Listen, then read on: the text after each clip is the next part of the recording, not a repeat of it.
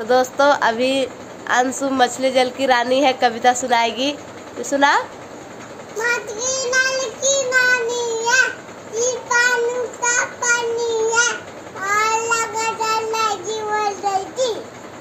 तो फ्रेंड इसका कविता कैसा लगा? कमेंट में ज़रूर बताइएगा और लाइक कर दीजिएगा एक। फिर मिलेंगे बोलो। फिर मिलेंगे।